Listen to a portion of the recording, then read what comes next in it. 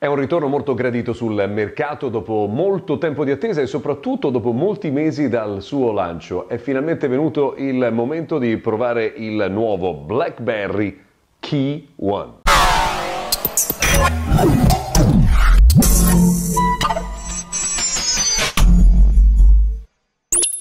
Ecco dunque uno dei prodotti più curiosi, più originali, più singolari che il mercato stia offrendo, ovvero BlackBerry Key One. Allora dico curiosi perché eh, vedete che eh, il display è eh, abbinato a questa eh, tastiera fisica, eh, cosa che ormai insomma, sui telefoni non si vede quasi più. E perché eh, c'è un display da 4,5 pollici che però insomma stravolge un po' no? la eh, razio del telefono perché eh, sotto c'è attaccato questo po' di tastiera. Faccio un esempio. Questo è il nuovo LG Q6 eh, che ha un display da 5,5 pollici, ben un pollice in più, eppure guardate, eh, è nel complesso eh, più piccolo, vediamolo così, è nel complesso più piccolo rispetto eh, al BlackBerry Key One. Se prendo iPhone che ha 5,5 pollici eh, di display e li eh, sovrappongo, parliamo ovviamente di eh, iPhone 7 Plus, vedete pur con eh, 3 pollici di differenza dovrebbero, cioè scusate, con un pollice di differenza potrebbero essere 3 cm, vedete che la distanza è davvero minimale. Ancora, provo a prendere il Moto Z2 Play, fare un'altra eh, comparazione di questo genere, vedete 4,5 contro 5,5 e eh, insomma la differenza di eh, dimensione eh, è comunque notevole. Se vogliamo proprio esagerare, prendiamo anche il OnePlus 5, eh, eh, anche in questo caso vedete 5,5 contro 4,5, vedete come eh, essenzialmente i display eh, pur essendo molto più grandi, danno un telefono che però nel complesso insomma, è di poco, di poco, di poco superiore nelle eh, dimensioni rispetto al BlackBerry Key One. Come detto, eh, display da 4,5 pollici con una eh, tra l'altro un razio particolare perché 1080 x 1620 ci sono eh, 32 giga di memoria, eh, un eh, processore Snapdragon 625, 3 giga di RAM e una batteria da 3505 mAh. Sulla parte posteriore eh, c'è la fotocamera, è una fotocamera da 12 megapixel di ottima qualità, tra l'altro in grado di eh, girare eh, anche i eh, video in 4K, eh, mentre la eh, fotocamera frontale è da 8 megapixel con apertura 2.2, tra l'altro con i pixel di una misura leggermente più grande da 1,12 Mm, il che vuol dire insomma una ottima capacità di eh, catturare immagini. Ecco, eh, pensate che quelli posteriori sono addirittura eh, da 1,55 micron, quindi eh, con una dimensione davvero eh, notevole e la qualità generale della eh, fotocamera è comunque buona. Allora, Caratteristiche, beh insomma le caratteristiche vengono sicuramente eh, da eh, questo display, dalla personalizzazione anche eh, di Android fatta eh, da BlackBerry eh, che eh, peraltro a me piace anche molto, c'è una personalizzazione che trovo abbia le cose giuste, no? ad esempio il tasto comodità, tasto comodità che è questo tasto che vedete eh, parte laterale, appena sotto il volume rocker, dalla parte opposta invece c'è il pulsante di accensione, nella parte superiore c'è l'attacco per le cuffie da 3 mm e mezzo, un po' Mm, cicciotto il telefono con i suoi 9,4 mm di spessore che oggi sono un po' eh, strani da eh, vedere rispetto ai telefoni eh, super nani eh, e super sottili. Vedete in questa parte invece l'attacco USB eh, Type-C e poi l'alto eh, parlante. Allora, eravamo rimasti al tasto di comodità, no? vedete io fermo lì eh, schiaccio il tasto di comodità e lancio la mia applicazione preferita, però potrebbe anche essere un task, quindi eh, potrebbe essere ad esempio eh, una nuova eh, opzione per quanto riguarda, cioè un nuovo impegno nel calendario, una nuova mail, insomma potete assegnare veramente quello che eh, vi pare. E quello che secondo me è molto carino è anche eh, il fatto che insomma, questo telefono abbia eh, il tab, ecco vedete, non, non, sempre precisissimo, guardate quanto tempo ci sta eh, impiegando ed essenzialmente il tab non sta eh, funzionando, quindi eh, proviamo a chiudere eh, tutte le applicazioni, ecco perché poi vedete in questo momento il tab eh, non eh, funziona. Questo tab laterale dovrebbe in realtà aprire delle eh, opzioni, vedete si apre e si richiude, ma purtroppo eh, non mostra l'azione che dovrebbe eh, mostrare, cioè quella di alcune scorciatoie, soprattutto di alcune informazioni riguardo le ultime mail ricevute, riguardo il calendario. Ecco, e qui entriamo nell'argomento, cioè l'argomento del processore. Cioè, secondo me questo è un telefono bellissimo, a me piace molto, devo dire che la combinazione tra eh, i tasti a schermo, allora vediamo eh, una cosa, allora la combinazione tra eh, i tasti a schermo, ecco mettiamo ad esempio qua con eh, attività, no? aggiungiamo una nuova attività, vedete io posso decidere di scrivere eh, con eh, la tastiera a schermo, che devo dire forse è una delle migliori in assoluto, oppure con la tastiera a eh, che si trova fisica. No? Vedete, eh, tastiera fisica con eh, diciamo dei tasti eh, che non hanno una corsa eh, lunghissima, cioè non è il vecchio eh, scusate, non è il vecchio Q10 eh, per, per, darvi un'idea, non è un vecchio BlackBerry Curve, per, tanto per insomma, guardare un po' al passato, però diciamo che hanno una buona eh, velocità.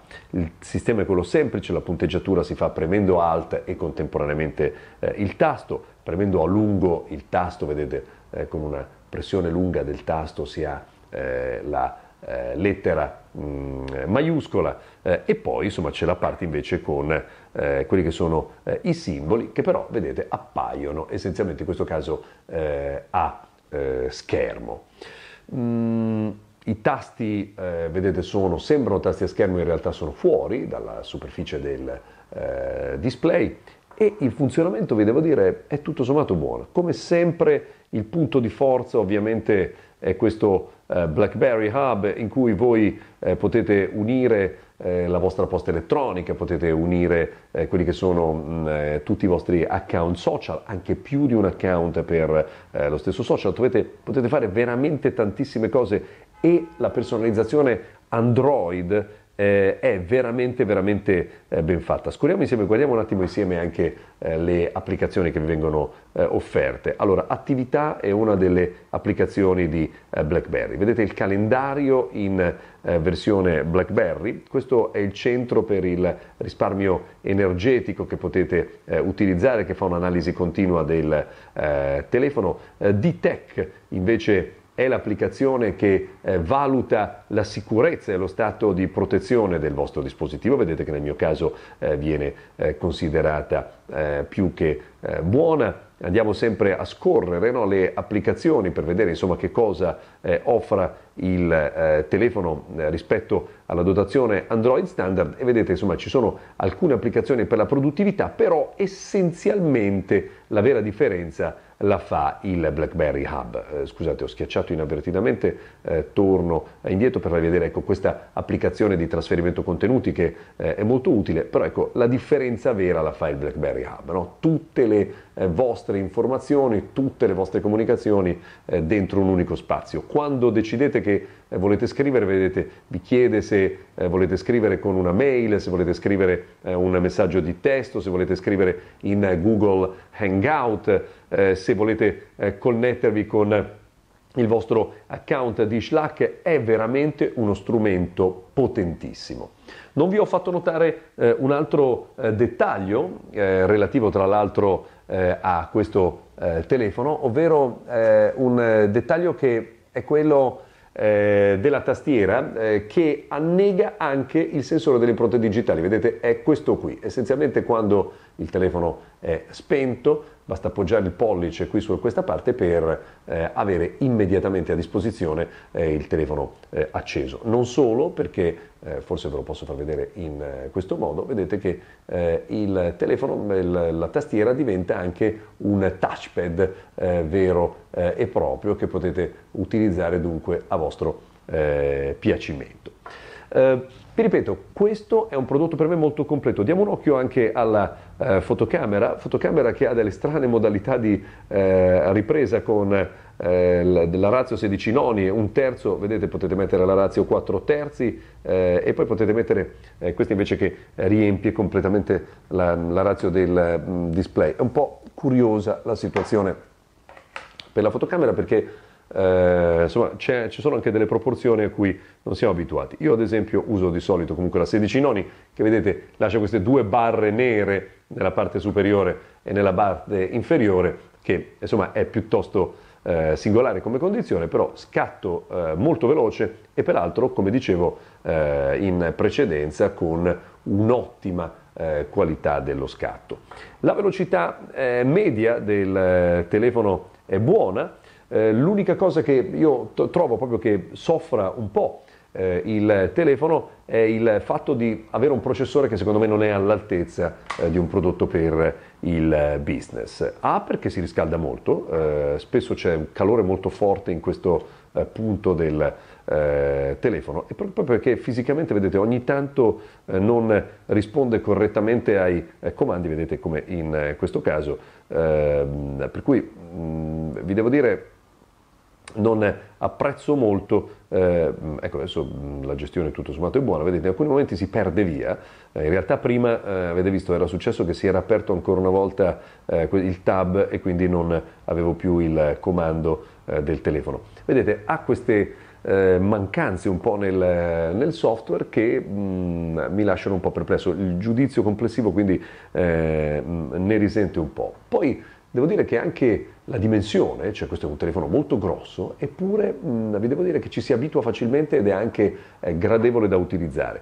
Eh, la ricezione è ottima, buona, anzi direi scusate, la ricezione è buona, non confondiamoci con i BlackBerry del passato, ecco, una mh, ricezione che non è eh, tanto sensibile quanto lo era eh, in eh, passato Um, la fotocamera, come detto, buona. La batteria sembra che non debba finire mai, è veramente eh, eh, infinita. Quindi vi devo dire, faccio un po' di fatica a, valutare. Ah, voglio farvi sentire anche l'audio. Faccio un po' di fatica a valutare questo eh, telefono, però diciamo che sono lì lì combattuto perché ci sono degli aspetti che mi piacciono tantissimo, soprattutto legati eh, alla produttività e poi ce ne sono altri invece che mi lasciano eh, un po' perplesso. Insomma, diciamo che eh, ci sono luci e ombre eh, nella...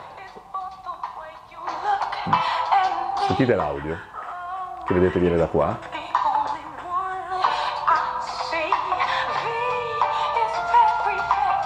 L'audio è veramente strepitoso, questo è un altro aspetto, l'altoparlante veramente fortissimo.